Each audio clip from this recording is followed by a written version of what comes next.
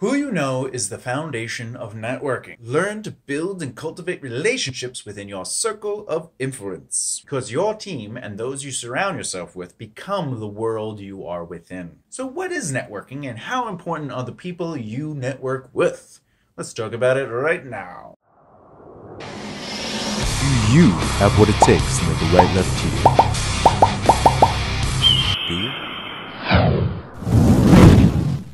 If you haven't already, please subscribe to my channel for videos on education, entertainment, and enlightenment.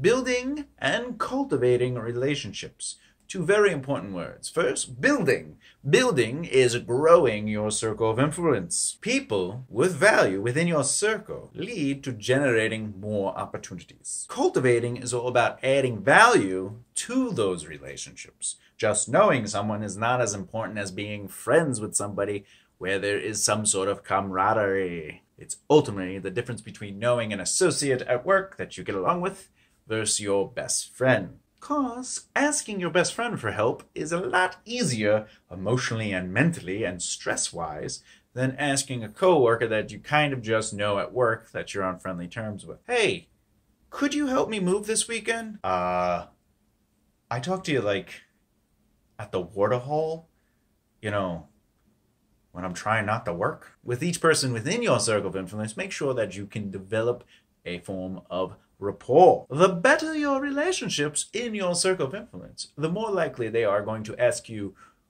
to work with them and or help them. That's right, sometimes you want to volunteer your time because the more you give, the more you get. And remember, networking is who you know. And you want to give them your time to build and cultivate those relationships. So you're building a brand value between them where your relationship and who you are as an individual emotionally attaches to them. And then they remember who you are. Now, how do we cultivate these relationships? I understand how we build our networking circles. We simply say hello to people, we get introduced to people, and we reach out to people we must build our relationships, but we also must cultivate those relationships. And that's fairly easy. We can increase the value of these relationships simply by giving them our time. You have to learn to interact with them in your life. Learn to interact with them in life. Celebrate their victories and be there for them in their shortcomings. The more interested you are in them, the more they will be willing to want to know about you. Our best friend is such because they are willing to listen to us. When we meet new people, let them talk about themselves let them give themselves to that relationship. It's not about you, it's about them. You already know everything about you, and these strangers don't care about you. They care about themselves. But if you care about them, they will eventually come around and be interested in you.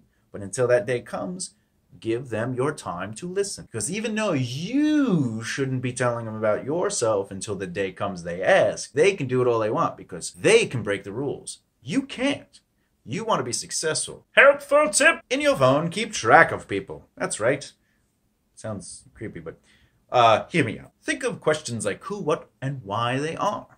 When they are talking and they release information such as, yeah, no, I had to spend the weekend uh, with my uh, wife, or, uh, you know, I had my kid's birthday. Oh, okay. When they walk away, uh, they're married. I don't know the wife's name yet, but the wife's birthday is clearly some Friday, Saturday, Sunday of February or, or March or whatever. Oh, oh, they have a kid. Okay, now I have a kid. We're learning and memorizing who these people are because it's our job to give back to them. Because next year, you know that the weekend's coming up, and a week before you go, hey, uh, isn't your wife's birthday coming up? I remember you saying that one. So, you know, happy birthday to your wife. I hope you and your family have a really great weekend. That shows you have interest in caring about their life and remembering things about them. You'd be surprised how far a happy birthday goes if you could get to them before Facebook tells you they have a birthday. I literally mark down all birthdays of all people that I interact with in my Google Calendar, and it gives me a week to two week notice, depending on the person. And this is stuff you could do through natural conversation. You don't even have to add, like, hey, when is your birthday? Wherever the conversation goes, just remember details and then place that information within your phone. And the good part is, this conversation will help build and cultivate these relationships. And you're not really doing it to ask them things, you're doing it to listen to what they're talking about because people will divulge information about their lives. It's just the natural form of conversation. And most important, to build and cultivate these relationships, specifically cultivating them to grow faster and stronger, follow up and jolts. But we're only going to talk about follow ups real quick. You want to remember when to reach back out with them. So if I meet you today, I will put in my phone after we leave and say, I have to respond to this person by within three days. And then after I respond to them with a follow up of that was great talking to you the other day, then I'll put another notification into my Google Calendar that says in the next four to six weeks, I have to do another follow up if I don't naturally speak to them within that time. Now, some people you're going to talk to more often than not. Like I have closer friends that are in the business that I talk to pretty much every day. But then there are other people that I really enjoy and that I consider good friends, but our busy lifestyles keeps us outside of our direct circle of influence, and therefore we have to put effort into reaching out to them because they're still important to us, even though we don't see them every day. Out of sight, out of mind can be very dangerous to your career. And more importantly, with these follow ups, try to invite them out to gatherings. If you and your close friends are doing something, invite somebody new out to come with you. Get them involved in your life and show them that you want them around. Now, again, some people have lives that are very busy and outside your circle of influence, and that's okay. You're not ignoring them per se, and they are still valuable to them, but let them know through nice text messages or emails or interact on their social media, share their stuff. Let them know that you still know they exist. Be seen, be present. And most importantly, to cultivate those relationships, you should also try to build your circle of influence by introducing other people to other people. If you meet somebody and you get a good start with them and you know you can help them and introduce them to somebody, even if you get nothing out of it other than building and cultivating that relationship, introduce people to people. That's the strongest part and aspect of networking.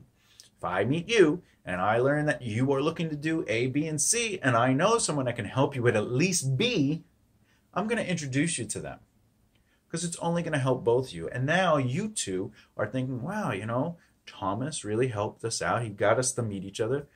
If I meet somebody, I'm just going to naturally want to help them because we should be helping each other. It's all about working together and growing together and rising together. Remember, people, follow up with people, and connect people. Thank you for watching this video and supporting these traveling adventures of a resilient entertainer. Please like, comment, and share this video, along with subscribing for future content. Have questions? Let me know in the comments below. Also, if you end up sharing this video, please at Thomas J. Bellezza, and I will see it, and therefore I'll be happy to return the favor and share some of your content.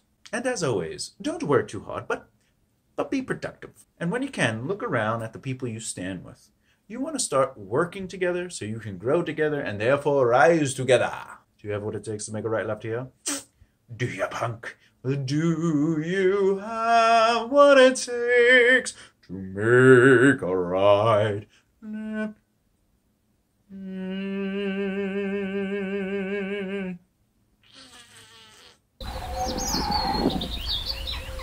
Oh dear.